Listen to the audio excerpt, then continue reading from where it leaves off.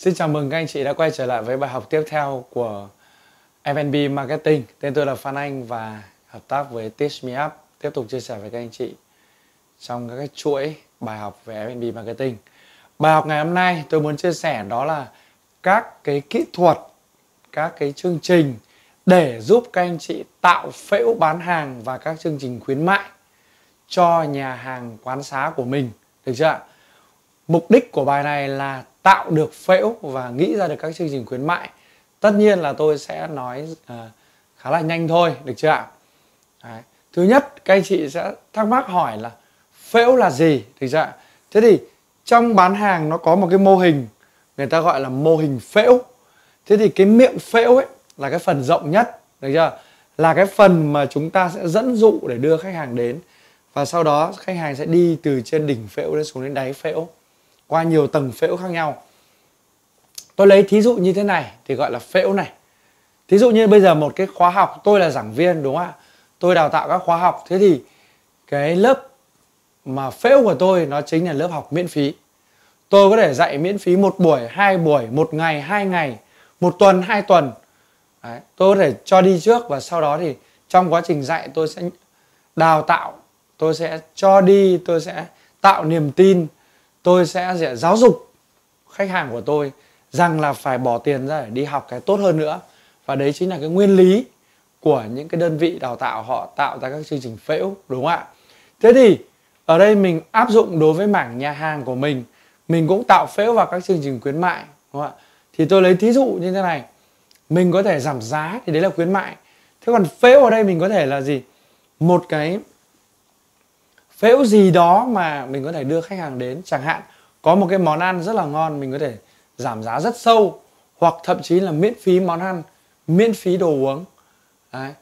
thế thì hiện nay các nhà hàng áp dụng cái chiêu này rất là nhiều.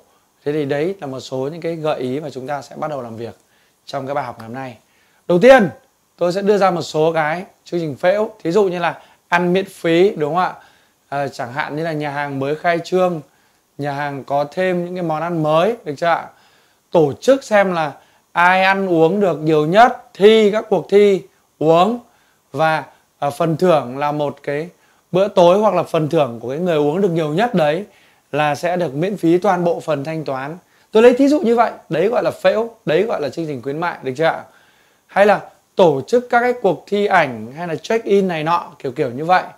Đấy thì đấy cũng là những cái chương trình mà chúng ta sẽ làm uh, phễu cho khách hàng cũng làm như event cho khách hàng à.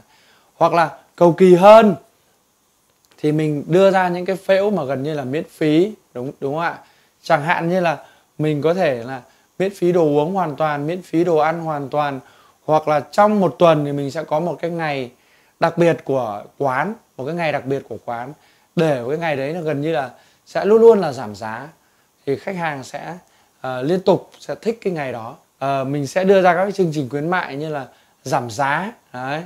Giảm giá thì ở đây thì mình có thể có rất nhiều các loại giảm giá. Uh, giảm giá uh, thực tế hay là giảm giá giả vờ đấy, hoặc là mình giảm giá đôi chút. Tiếp tục đấy là mình có thể giảm giá dạng thanh lý hay là một số cái đơn vị người ta đưa ra các chương trình như là à, giá hủy diệt đấy.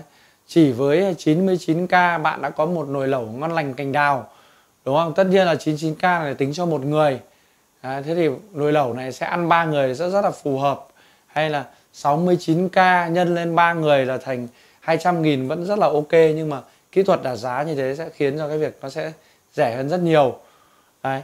À, tiếp tục đó là các bạn sẽ có thể có những ngày vàng giờ vàng tuần lễ vàng Đấy. mình sẽ cân nhắc xem là trong một tuần thì ngày nào vắng trong một ngày thì sáng hay chiều hay tối thì vắng đúng không ạ và chúng ta sẽ quyết định rằng là chúng ta sẽ làm những cái tuần lễ hay là cái ngày hay là cái giờ vàng để thu hút khách hàng đến. Đúng không ạ? Những người mà người ta nhạy cảm về giá người ta cũng sẽ quan tâm đến cái việc đó. Và đây cũng chính là cách để chúng ta sẽ à, tăng được cái thu nhập của chúng ta trong những cái thời điểm thấp điểm.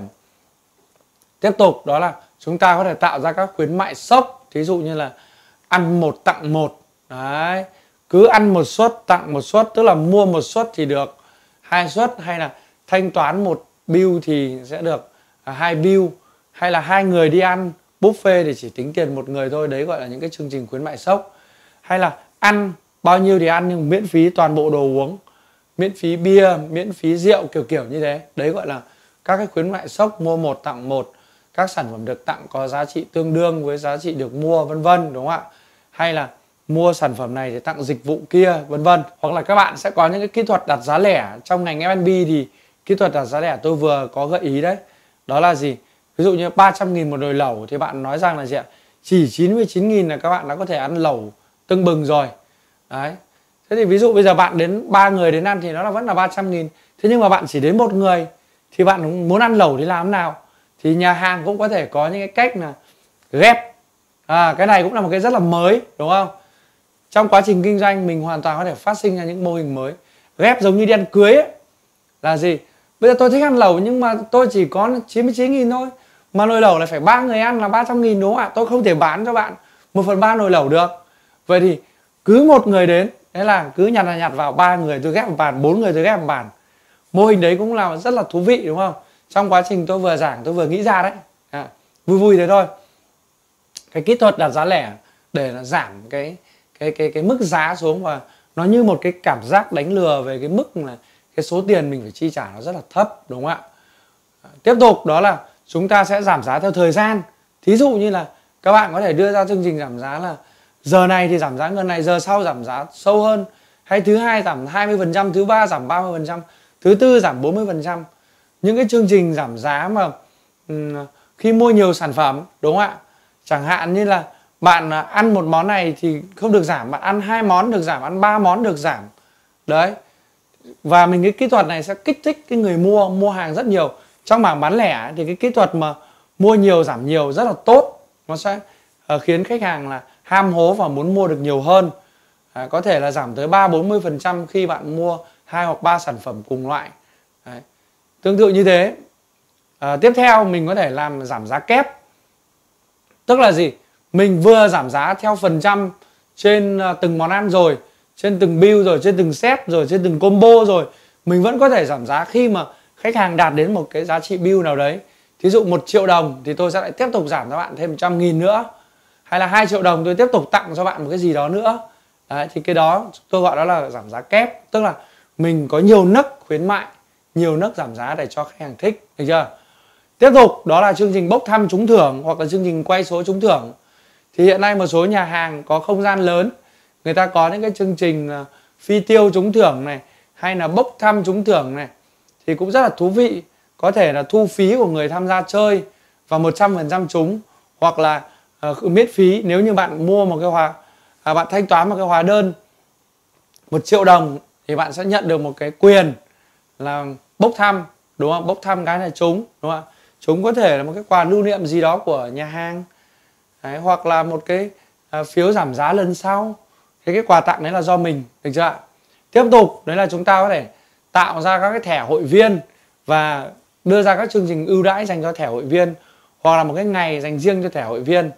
Đấy, ví dụ như trong một tuần hoặc là trong một tháng mình sẽ có ngày dành riêng và cái ngày đó khách hàng đến uh, có thẻ hội viên thì sẽ được ăn uống à, phục vụ tử tế hơn có những món đặc biệt hơn tôi lấy thí dụ như vậy hay cái mô hình đó rất là tốt nhá. Các nhà hàng thì chúng ta à, nhất là các nhà hàng mà phát triển theo mô hình chuỗi thì nên có các cái thẻ hội viên này. Đấy, cái việc tích điểm vào thì chúng ta có thể đưa ngay vào trong cái phần thẻ hội viên hoặc là thẻ tích điểm riêng.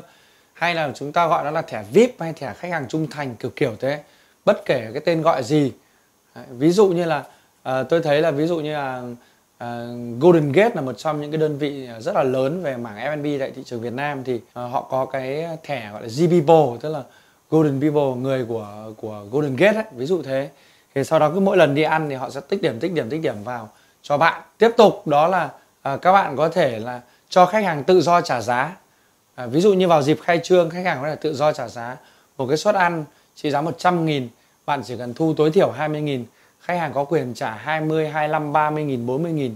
Thì đây cũng là một cái chương trình khuyến mại cũng khá là thú vị. Hoặc là tôi có tư vấn cho khách hàng là làm giảm giá theo thời tiết. Tức là một cái loại hình giảm giá khoảng mà chẳng liên quan gì đến ờ, thực tế cả đúng không ạ? Ngoài trời bao nhiêu độ nhà hàng giảm bấy nhiêu phần trăm. Ngoài trời bao nhiêu độ thì quy ra tặng cho bạn bấy nhiêu cái cốc bia. Ví dụ như 40 độ thì tôi sẽ tặng bạn 4 cốc bia. Tôi lấy thí dụ như vậy cũng là một cái cách làm khuyến mại rất là thú vị. Hoặc là gần đây nó có những cái sự vụ là khuyến mại theo tên đúng không tên anh A chị B đấy là sẽ được giảm giá còn cái chị C đấy không được. Thì cũng là một cái rất là vui vui. Đấy. Tương tự như thế ờ, chúng ta có thể là à, có những cái hình thức khuyến mại như là bù tiền thừa cho khách hàng bằng quà tặng đúng không? À, hoặc là chúng ta có thể làm tròn giá.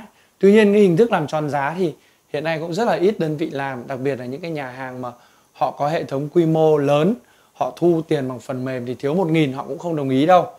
Thế thì đối với những cái nhà hàng quy mô nhỏ nhỏ và chúng ta có thể dễ tính trong cái việc đấy, thì chúng ta có thể bù tiền thừa bằng quà tặng hoặc là chúng ta có thể làm tròn, giảm bớt một cái số tiền.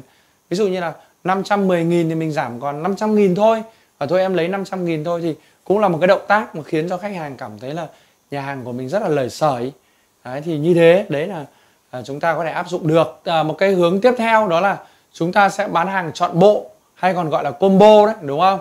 Đấy, mua một cái à, cốc bia thì là 50.000 nhưng mà một cốc bia với một món ăn thì chỉ có độ 80.000 thôi. Một cái món ăn đấy bình thường là 50.000 đấy, thì cộng hai cái món đấy thì chỉ có 80.000 hay 70.000 thí dụ như vậy đấy là mô hình combo. Và mô hình combo thì uh, không xa lạ gì với các anh chị cả đặc biệt là đối với fast food nước ngoài, thì chính là cái mô hình combo là do fast food nước ngoài người ta đem về. Và hiện nay thì các cái chủ nhà hàng của chúng ta cũng bắt trước và học hỏi cũng rất là tốt, đúng không ạ?